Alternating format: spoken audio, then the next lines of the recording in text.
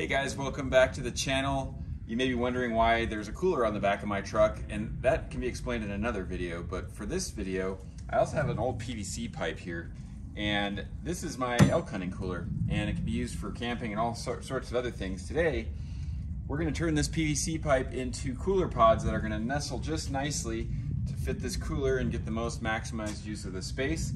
It's also going to help insulate the ice so that we get a longer cold time in the cooler. I don't need it to be sub-zero in here. I just need it to be below 40 degrees and I want it to last the whole week or two that I'm elk hunting, probably even in September during archery season when the temperatures are warm.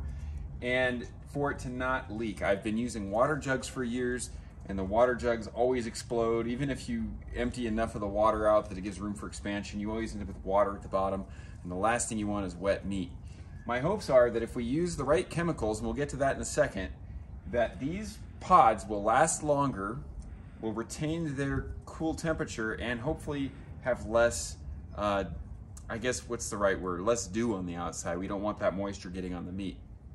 And uh, ultimately, should take less space in the cooler as well. So stick around, I'll get to showing you what we're gonna do to make these things as efficient as possible. Okay, so here's the inside of the cooler, and I have this foam divider. I'll put a link to that video in the description as well. Um, why waste your money on the ones you buy? These are super easy to make. This side is where I typically keep some like drinks and some orange juice and, you know, some like if I'm gonna camp, I'll have condiments, etc. And this side is dedicated just for elk meat or deer meat. Usually I end up having to pull that out when I get an elk to rearrange it all. And I'll keep a couple baskets on top. So that foam stays there and then I usually get a basket here, a basket there, and then an open entire cavity here. So what I wanna do is I'm gonna make some long pods that go in here side by side. I'm gonna make, they should have enough room. They'll kind of be like two next to each other and one on top. And then after I get an elk, I can put one of those on top or two of those on top. And then on this side, I believe I'm gonna go, yeah, this is the longer way on this side, about 12 inches, and I should be able to fit two in there. So a total of five pods. It should be about, I don't know, around five gallons, I think. We'll do the math on that. And uh, I'm gonna go ahead and start cutting this, uh, measuring the pipe ends that we're gonna use to get the perfect fit and then we'll replicate So that. what you see here is two sets of chemicals and caps. And why do I have two sets? Because last weekend I got this crazy idea. I wanted to do it with local materials. So I went to Home Depot and I, I bought these uh, pipe ends, these PVC pipe ends.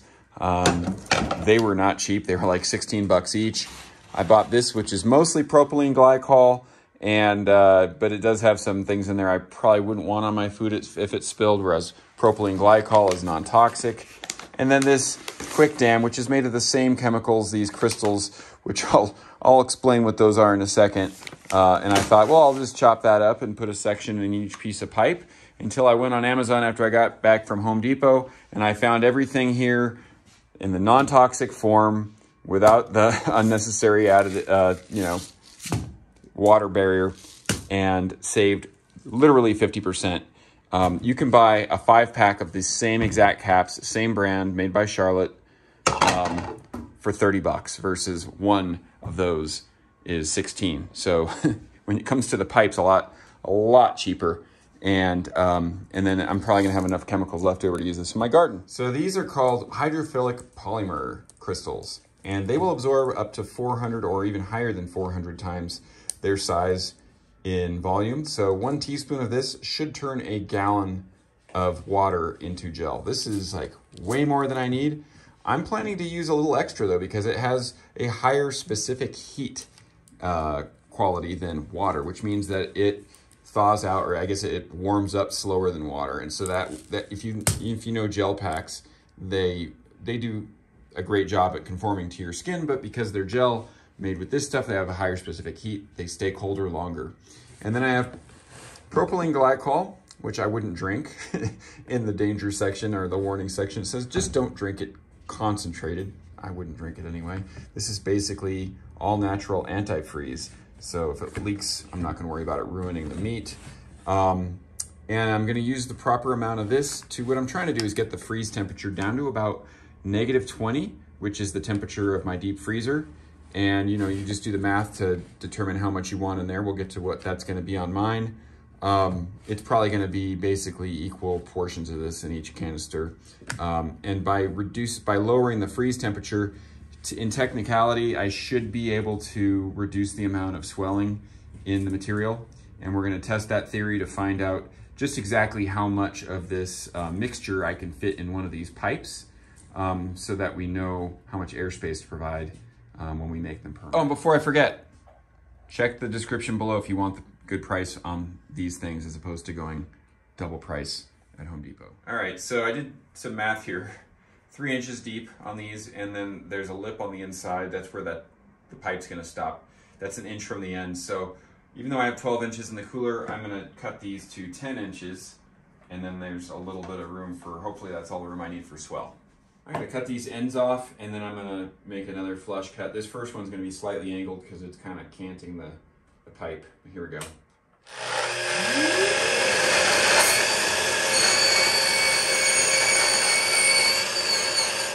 So I got the first one cut and capped, and I'm just gonna drop it in here take a look. It has plenty of space to get this in. And I think what I'm gonna do when I do finally make these finalized is while the uh, glue is still wet, I'll actually use the cooler to sort of wedge them in and make them the perfect shape so I'm not banging around in there. All right, we're gonna use the Oatey regular clear PVC cement since this isn't getting inspected uh, it doesn't need the purple. The purple is basically just to show the inspector easily that it's been cemented. And that stuff would potentially cause like dye to get on our food. We don't want that. So I'm gonna go ahead and, this is gonna go on the inside of the cap and on this rim on the outside here. We're just gonna do the bottoms of these right now because we don't have the solution made up. We're just gonna do this to like get it ready for the solution. And we use a, a liberal amount of this because, you know, one time it's be good to be liberal with things is when you're trying to glue things together. and You don't want leaks. So maybe that's a little overkill, but I don't think that's gonna leak. Oh, come on. There we go. Made a nice little spagooshi looking sound in there. We'll go ahead and do that to the rest of them. Then we'll get on to the chemistry. All right, so the conversion of this to make the right amount of gel is a teaspoon per 550 mil, which is basically a half liter. So um, I'm gonna make a half a gallon of mixture, and I did the math to come up with 25 milliliters. It's gonna be a half. And I'm gonna go ahead and pour that in here. We're gonna use the bucket to do this instead of the pipes because then I can just mathematically calculate what percentage it rises when it freezes to know how much I can fit in those pipes. All right, now conversion on this was 90% water to 10% pro propylene glycol. I'm bad with pronouncing the chemistries, excuse me. And uh, that's gonna be roughly six ounces to 60 ounces to get us to our half gallon here. And we'll pour that in. And then we're gonna put the rest water.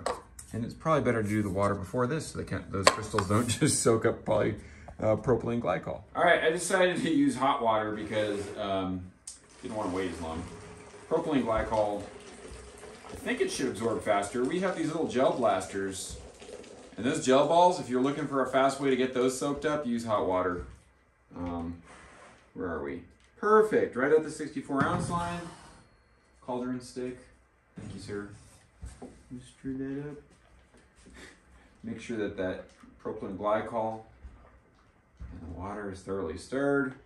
All right, we let that sit for a couple hours and it looks like it did its job pretty well.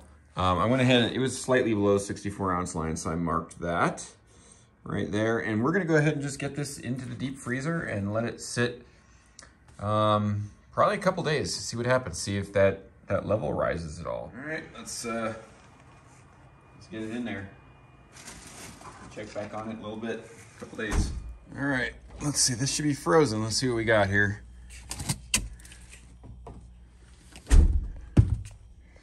Look at that, it's like snow. That's crazy.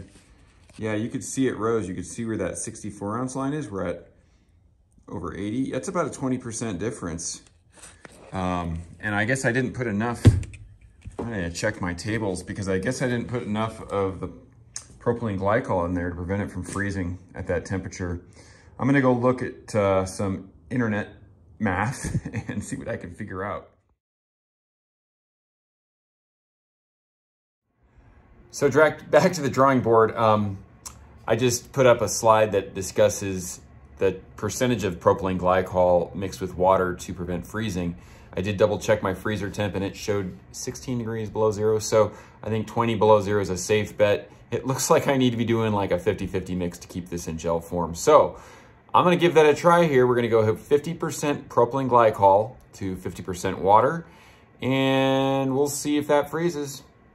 Okay, that's our propylene glycol. I'm gonna put the sodium uh, poly blah, blah, blah in there and then top it off with hot water. Okay, gonna give this a nice good stir. I am really curious if it doesn't freeze. And if it doesn't freeze, if it, if this, if this water level rises, or I guess just say gel level, that will be really cool if it doesn't. Um, then I'll call that mission accomplished and go ahead and get on with putting things together. All right, there's our latest concoction of the chemicals at 50% dilution. Right at that same line I made there, just about. Gonna go ahead and throw that in the freezer. Here we go, fingers crossed. And just a small side note, it uh, took a lot longer to absorb that. So um, that uh, sodium polyacrylate absorbs water by itself a lot easier than when you mix it with the uh, propylene glycol. Um, so just give it more time. All right, there we go, 16 below, and look at this. It is gel. that is awesome. Let's see if it uh, expanded much or at all. Right at 64 ounces. That is sweet. And I actually doubled the amount of um, sodium polyacrylate in there because it just, it was absorbing so slow. And I was wondering also if that was going to affect it. Turns out it did not. So I'm going to go extra liberal on the polyacrylate, sodium polyacrylate, polyacrylate concentration um, because it does increase the gelatinous factor, which is how it retains the cold that cold temperature. Remember the specific heat thing. All right, so what do I have here? I don't have the, the pure uh, poly polyethylene glycol. Shoot, I can't remember the name already. I'm losing my mind, guys. Anyway, I'm gonna use this instead because uh, this is gonna be a secure connection. I'm not at all worried about these things bursting because there's gonna be probably no, if not maybe even a little bit of negative pressure because I have water boiling in here. This is, well, it's not boiling anymore, but I boiled the water. I boiled two gallons. I'm gonna use two gallons of this. It's supposed to protect even more against temperature. And I have a little bit of the other stuff left if I need more than four gallons. Uh, I have my sodium polyacrylate, I have my caps, and I have my cement. So what I'm gonna do is I'm gonna put the sodium measured out into these, um, I need to get my containers, the pods, and then I'm gonna mix these items and pour them till they're full, run some cement on them, get the caps on, and then I'll put them in the, in the cooler, and that space fits perfectly. So it should hold the caps on while it's curing, uh, and same thing on the other side. All right, maybe that's a little overkill, but uh, that's what the big ones are gonna get. And I'll do a half of that in each of the small ones. Okay, I have two gallons of water. I'm gonna put two gallons of uh, propylene glycol in there, or splash, if you will. Um, at your own risk, you know, I would recommend if you're really worried about the toxic aspect of things, then use the pure propylene glycol. Use your own risk on this. It did say on the safety data sheet the same thing. If you drink it concentrated, just drink more water. So it didn't say anything about having to go to the hospital if it's ingested. Um, and the reason, again, why I'm why I heated up the water, one was to allow faster absorption of the gel, um, but also it's going to create a vacuum as that temperature cools. It's going to help pull those lids on. And then when I freeze it, if there's any sort of expansion, it will do the opposite. It will help balance out that pressure from freezing, which I don't think will be an issue anyway, but at the very least, it will ensure a tighter seal on these lids. And I'm only doing four gallons because I just don't want to deal with a overly full five gallon bucket, even though I think we're closer to five gallons with our total requirement. Look at that, almost to the T, four gallons there. So I probably actually have closer to six gallons, which means I'll use that other jug of propylene glycol on the other four there. Once again, I'm doing this is my second coat here. Two coats on both the pipe and in the lid. And that should just push on. Probably gonna wanna push off initially because there's positive pressure being added. But, ooh, yeah, that's gonna be a little tough because uh, until that cools down, it's not gonna suck it in. I'm kind of stuck, what do I do? So, sometimes it's just hard to think through all these things. Uh, I am sitting on the pipe. Uh, that's gonna hold the lid down until the glue sets. Maybe if you guys could think of a, a better solution to what I'm experiencing here, please leave it in the comments below. I'm curious what you guys come up with. This does seem to be holding the lid down in place and it should set in about 30 minutes. So I guess I'll get to watching some YouTube videos while I'm just sitting here. Okay, well, I got it to set kind of temporary, good enough. I don't see anything leaking out of there. We'll find out, at least I'm using dyed fluid. Um, and I, I have that sort of just sitting for the next 15 minutes pressed up against there. This one, I couldn't get quite pressed on as far as I'd hoped because it was just, uh, it, it, caught me off guard how it happened. So my hope with these, I'm gonna push these on as hard as I can and get them to the bottom. If I have to do some modifications to my foam here to allow for the extra, extra space, that's what I'll have to do. I'm gonna think of it. I'm gonna put this, this is still like 10 below. I'm gonna use that to help cool this and maybe that'll cool the liquid and help pull that lid on faster than just the air. One last thing I didn't mention, like make sure that rim is dry and then apply acetone. I'm applying acetone, maybe it's overkill again, but this will make sure that there's no grease or anything that would interfere with the bond on both the top of those pipes and on the inside of these lids. So that actually worked better than I expected. Um, the cooling of the temperature inside allowed me to not have to sit on top of this as long. I noticed that it was able to stay put on its own after just about a minute or two. So that's nice little thing. By some there. sort of miracle, those last two fit down in the bottom nice and snug and this one fits right on top and there's not gonna be any movement. So I'm really happy with that, but I am not going against a soft, bendable or squishy surface on these. So I'm gonna measure the length of these and how, basically how far I was able to compress those and then cut off whatever amount of this that I have to, to ensure that I can get these in that way and not have to deal with um, sizing problems. So those longer ones expanded by only a half an inch, um, but that would not work on these. Um, in fact, I expect that these are going to be even harder to press down because there's less total volume of, I don't know, whatever's in there to compress uh, or the, you know, the expansion of the pipe from pressing. So I'm going to cut a whole inch off of these and hopefully that's it. It's kind of sad I'm losing an inch of volume of frozen stuff. But, you know, I do have those bigger ones. I'm going to have a total of six gallons of ice. That's pretty solid. So but keep that in mind, if you're gonna make these, you're gonna lose some volume if you make them out of these shorter ones than if you did the longer ones. Well, I got in a little fight with the miter saw this time. Uh, it's pretty hard to stabilize a round object on a smooth bench. So I'm gonna do this, and I probably should have done this in the beginning, use my reciprocating saw on this with a PVC blade. Um, word of the wise, watch this whole video and learn my lessons of mistakes before you start this. Much uh, easier. It does leave a burr, so that will need to be filed down. And I do have some gouges from the miter saw there, but I'm not going to worry about those because we don't have any real pressure in here. And these are the ones that are carrying the pure propylene glycol. Are they all cut? This one of the rings I cut out. I just want to show you the blade I'm using. I love these. They work on just about everything. Um, the Diablos, and they are stronger than the Torch by Milwaukee, even though they look almost exactly the same. I'm just gonna go ahead and get a file and clean up those well, burrs. Unfortunately, we have a wounded soldier. The uh, the one that got bit by the saw didn't quite make it. However, we end up with a little over five gallons of ice pods and a lot of cooler space. And I'm just picturing like how this will go.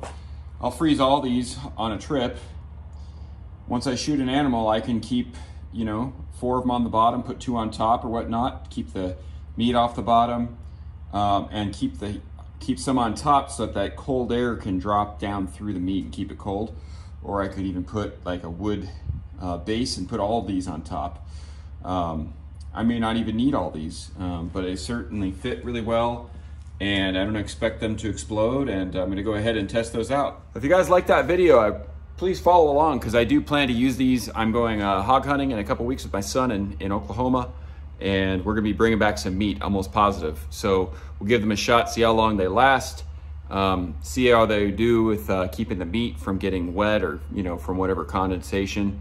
Um, and I'll be using them again in the summer, but I'll make another video about how they work with actual field use. So please subscribe, hit that alert button so you can stay notified when that video pops up. And if you like things like this, it's not just like I'm an ice man. I just do like lots of handiwork and I'm a carpenter by trade. So if you want to stay in the in uh, in the loop on what I'm up to, please do subscribe, share, and like the video. And if you have any questions or comments, please leave them below. I'm curious what you're thinking.